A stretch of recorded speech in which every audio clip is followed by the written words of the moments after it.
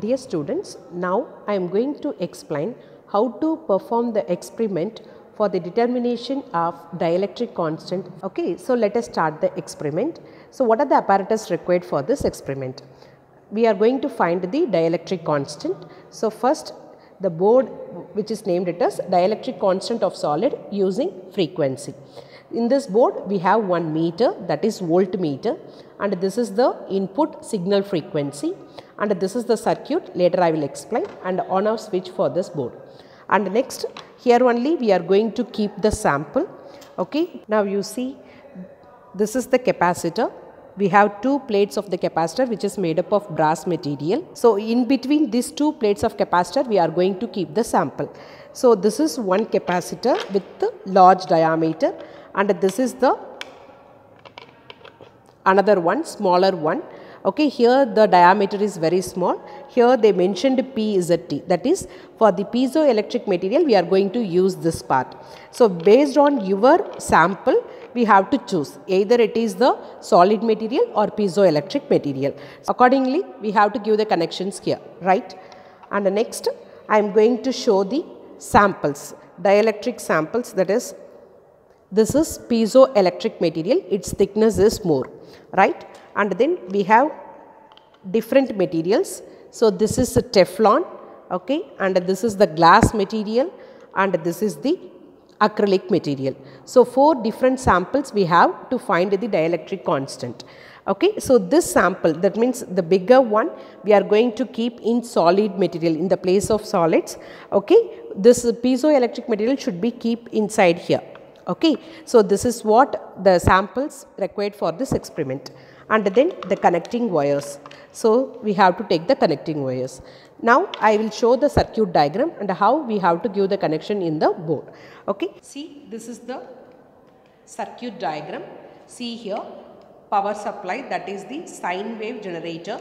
So, with the frequency 10 kilohertz we are going to use for this experiment which is connected to the resistor and the resistor is connected to the parallel plate capacitor.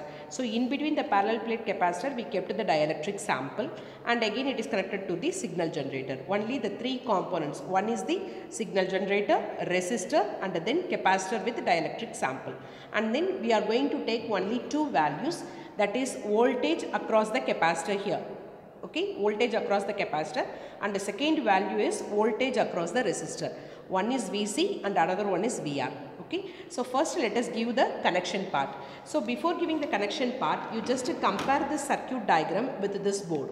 See here signal generator the same circuit has given in this board also. So signal generator is here and then connected to the resistor.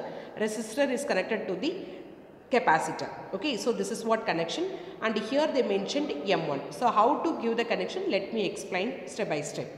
Out of four samples first i'm going to take this teflon sample. This i'm going to keep in between the plates of the capacitors. Okay so first keep this teflon sample and then tight by using this bolt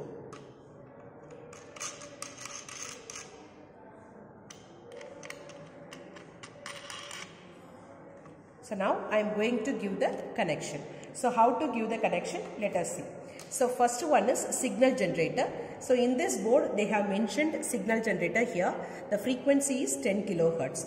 So now one end of the signal generator is connected to one end of here. Okay. The another end of the signal generator to the another end of here. Now you see the symbol also they mentioned in the board very easily you can able to give it. So one positive to positive, negative to negative I have given.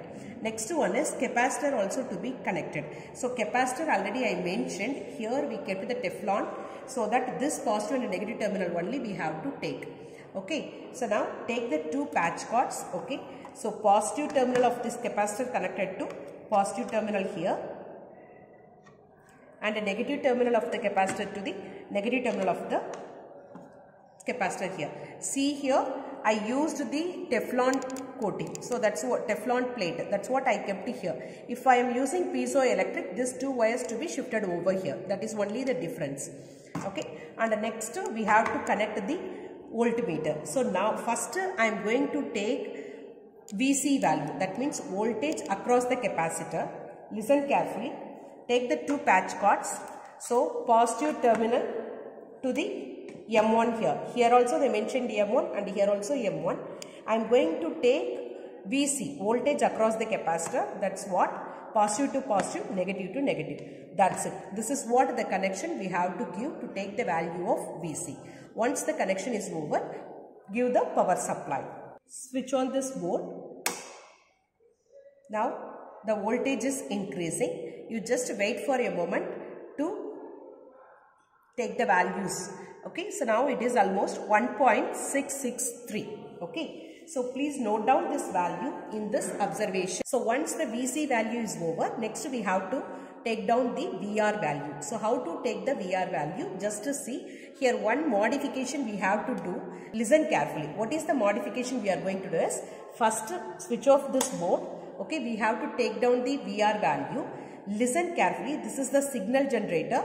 Positive negative terminal is there. First it should be interchanged to take the VR value. Listen, I just interchanged. Okay red black I just interchanged this and the next step is I am going to take the VR value across that is voltage value across resistor. So resistor is here only so we should take the resistor value.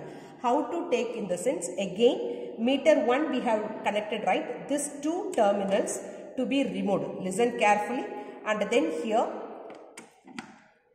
red and black in that way we have to give the connection. So while giving the connection now this negative this two black that is power supply signal generator black as well as the resistor black both should be adjacent to each other.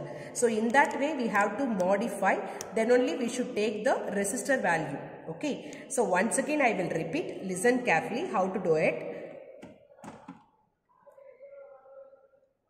First one is our signal generator connection. It should be interchanged. Okay? Positive to negative negative to positive. first step. And the second step is the resistor uh, that means voltage across the resistor we have to calculate. So black should come first negative terminal should go first and the positive terminal should come here. Okay? Once the connection is given now again switch on this board and just take down this value. Okay so see here it is almost around 0.753 okay? 0.753 now you see the two values we have taken. One is voltage across the capacitor and another one is voltage across the resistor. So that's all our experiment is over. Now we have to do the calculation. So the calculation part i will explain in the next video. Thank you everyone